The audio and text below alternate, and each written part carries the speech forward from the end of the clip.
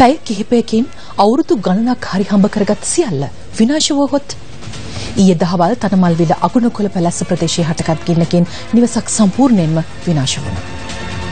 තමයි මේ අකුරු පොත් කොළ මේවා මේ මේවා තමයි මට තිබුණේ ඒ ඔක්කොම පිච්චිලා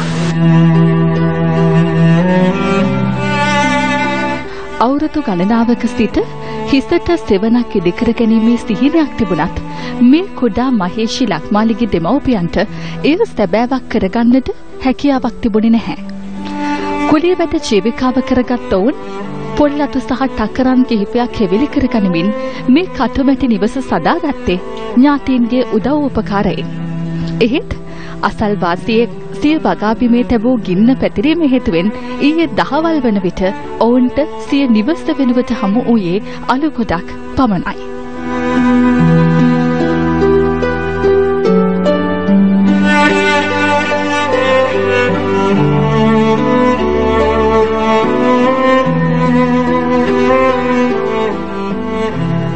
ලබන වසරේ ශිෂ්‍යත්ව විභාගයට පෙළී සිටීමට නියමිත මේ පුංචි දියණියගේ පොත්පත් පාසල් උපකරණ සියල්ලද ගින්නට අලු වී ගොස් තිබුණා.